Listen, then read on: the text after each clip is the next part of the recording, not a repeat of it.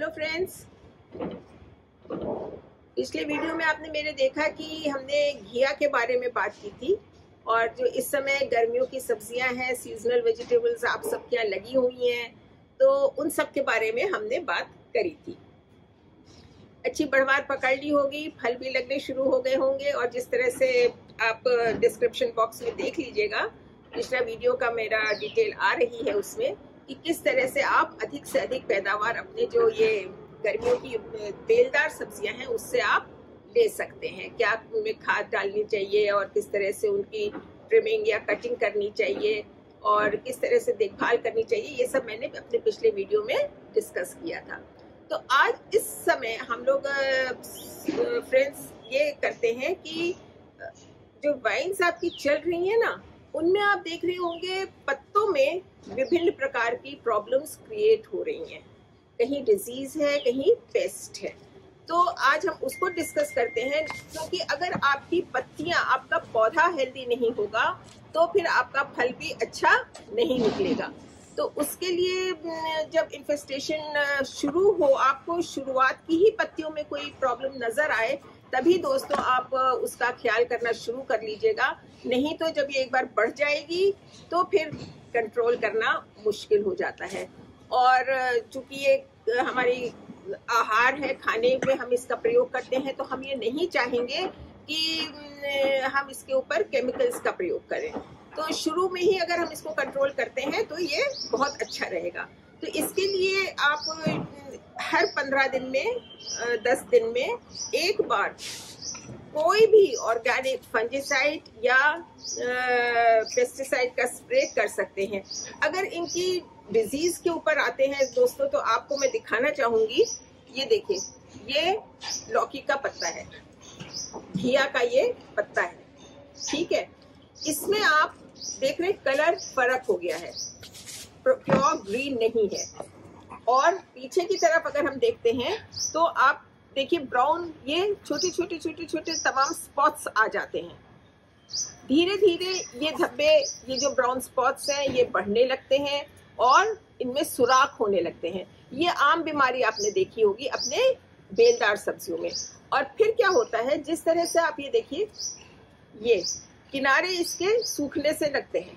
आप देखेंगे इसके किनारे सूख रहे अभी इसमें बहुत कम है धीरे धीरे ये पूरा पत्ता सूख जाता है, लेकिन झड़ता नहीं है। ये बेल में ही लगा रह जाता है। ये मत सोचिएगा कि ये धूप से हो रहा है। अगर इस तरह से आपकी ये बीमारी इसमें शुरू हो रही है तो आपको प्रिकॉशन ले लेना चाहिए। ये एक तरह का फंगस है और जब आप ये होता कैसे, मैं ये बताना चाहूँगी आपको कि जब आप दोपहर में, जब धूप ज़्यादा हो जाती है, तब आप अपने पौधों पे पानी डालते हैं तो गर्म हवा और पानी कुछ दोनों का मिक्सचर जब हो जाता है मॉइस्चर क्रिएट होता है तो ये जो फंगस है, ये इसमें अटैक करता है। तो ध्यान रखिए, पानी आप अपने पौधों में सवेरे ही डालें या शाम पड़े डालें। दोपहर में अपने पत्तियों पे स्पेशली पानी न दें। एक तो ये बात आपकी प्रिकॉशन की हो गई। दूसरे आप ये देखेंगे कि ये जो पुरानी पत्तियाँ हैं, नीचे की तरफ़ की बड़ी पत्तियाँ हैं, उनमें ये बीमारी ज़्यादा लगती है। तो आप आराम से इसको कंट्रोल कर सकते हैं। नहीं तो ये चढ़ते चढ़ते ऊपर की नई पत्तियों पे भी अपना डेरा जमा लेगा। तो इसके लिए आप बहुत आसान सा उपाय मैं आपको बताती हूँ दोस्तों। आप किसी भी फंजिसाइड का उपयोग करें कॉपर बेस्ड हो तो वो बहुत अच्छा रहेगा। उसमें आप छाछ जो होता है ना, छाछ मट्ठा छाछ तो उसको आप ले लें और एक कॉपर के बर्तन में, तांबे के बर्तन में उसको रख लें। उसको दो तीन दिन उसमें रखें और जब आप देखेंगे उसका कलर चेंज हो जाता है, कुछ नीला हरा सा हो जाता है तो इसके मैंने आपका जो सॉल्यूशन है वो तैयार हो गया है। उसको अच्छी तरह छान लें जिससे आपका जो स्प्रेयर है उसकी नोजल ब्लॉक ना हो और फिर तीन एम ज़्यादा क्वांटिटी नहीं लेनी है दोस्तों तीन एम एल एक लीटर पानी में डाइल्यूट करके उसको अपने सभी पौधों पर स्प्रे करें स्पेशली पत्तियों पर और पत्तियों के क्योंकि आप ये देखेंगे जब भी, भी कोई इन्फेस्टेशन होता है वो नीचे की तरफ़ से अटैक करता है आपके पौधे को पत्तियों को।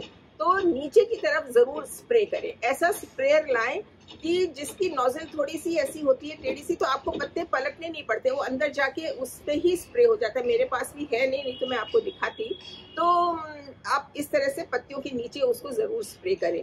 और हर दूसरे, तीसरे दिन हफ़्ते में कम से कम दो बार इसका प्रयोग ज़रूर करें। ऑर्गेनिक मेथड है, कोई प्रॉब्लम नहीं होगी आपके पौधों को और आपके पौधा सुरक्षित रहेगा और इस बीमारी से बचा रहेगा। और इस समय अगर आपके पौधों में ये बीमारी आ गई है तो जितने भी इन्फेस्टेड पत्ते हैं, वो सब आप हटा दीजिए डिस्ट्रॉय कर दीजिए, अपने कंपोस्ट बिन में मत डालिएगा। तो एक ये बीमारी है। दूसरी बीमारी आप देखेंगे, ये लीफ माइनर। ये इस तरह से ये इसमें चलती है। पत्तों के बीच में ये इसके लार्वा होते हैं और जो इसमें फिर वो पत्तों के ऊपर और नीचे से सैप इसका सक करते रहते हैं, खाते रहते हैं। और धीरे धीरे ये पूरे पत्ते पर आप देखेंगे white white lines zigzag line जैसे सांप या केचुआ चलता है, इस तरह से आप देखेंगे इसमें लाइंस बन जाती हैं। तो ये भी आपके पौधे को खराब कर देगा और इसको रोकना थोड़ा सा मुश्किल हो जाता है क्योंकि ये पत्तों के बीच में होता है दोस्तों, इसलिए हमको जो भी पत्तों में ये प्रॉब्लम हो गई है, उनको हमेशा हटा के डिस्ट्रॉय कर देना चाहिए। और इसके ऊपर आप, क्योंकि जो अडल्ट ये होता है, वो पेस्ट होता है, ये अंडे देता है एग ले करता है। तो जब एग ले करता है, उसी टाइम अगर हम इस पर नीम ऑयल और सोप वाला स्प्रे करें तो उससे बहुत फ़ायदा होगा। और ये ध्यान रखिएगा नीचे की तरफ़ सॉइल पे, क्योंकि जब आप स्प्रे करेंगे तो एग्स जो क्या होते हैं सॉइल में गिरते हैं, आपकी मिट्टी पे गिरते हैं। तो फिर वो उसी में पनपते हैं प्यूपेट करते हैं उसी में। तो उससे बचने के लिए आप उसके ऊपर एक प्लास्टिक कवर मल्च डाल दें, जिससे कि वो आपकी सॉइल में मिक्स न हो। तीसरा आप प्रिकॉशन ले सकते हैं कि जब आप कोई भी क्रॉप लगा रहे हैं तो जो पिछली बार अगर आपने वही लगाई है, उसको आप रिपीट न करें। माने कि क्रॉप रोटेशन आप करते रहें। अगर आपने पिछली बार उसी जगह पे वही बेलदार सब्ज़ियाँ लगाई हैं तो इस साल आप उनको उस जगह पे लगाना अवॉइड करें। तो आशा है ये आप करेंगे तो आपकी बेलदार सब्ज़ियाँ बची रहेंगी और आपको भरपूर फ़सल देंगी। फिर एक बहुत कॉमन दूसरा कीड़ा है, ये है एफिड्स बहुत अटैक करता है स्पेशली टिप्स के ऊपर, जो नया ग्रोथ होती है प्लांट की, उसकी टिप्स के ऊपर ये, उसके टेंडर पार्ट्स पे अटैक करता है।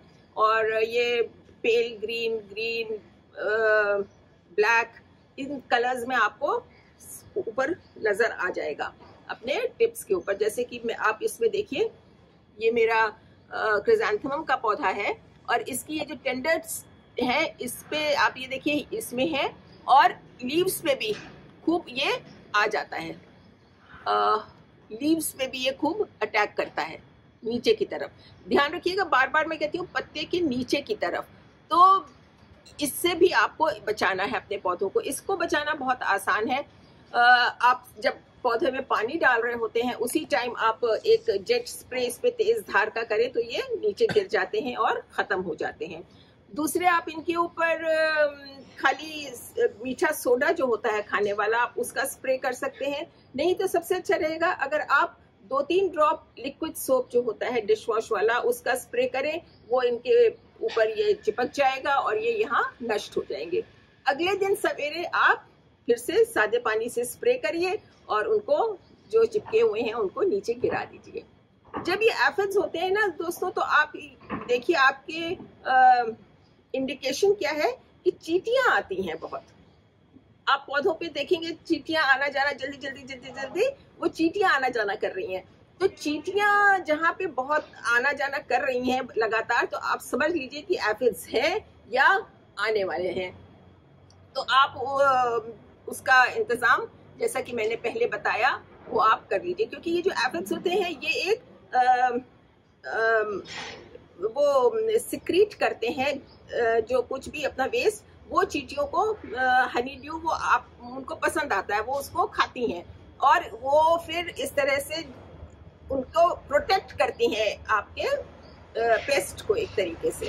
तो उन दोनों का सांठगांठ आपस में जो है ना, वो आपको ब्रेक करनी है तो जैसे ही आपको चीटियाँ नज़र आए, आप ध्यान करिएगा इस बात का और उसका इमीडिएट कंट्रोल करने के लिए उपाय करिएगा। तो ये जो तीन तरह की बीमारियाँ आज मैंने आपको बताई फंगस और पेस्ट प्रॉब्लम्स तो आप ज़रूर उनका केयर करिए, अपने पौधों का रोज आना निरीक्षण करते रहिए। आज आपने देखा नहीं है, हो सकता है कल वो अटैक कर जाए। So because this is the time for these pest and fungus diseases तो आशा है आपको ये वीडियो पसंद आया होगा तो शेयर करिए लाइक करिए और चैनल को सब्सक्राइब भी करिएगा। Take very good care of yourself of your plants as well and goodbye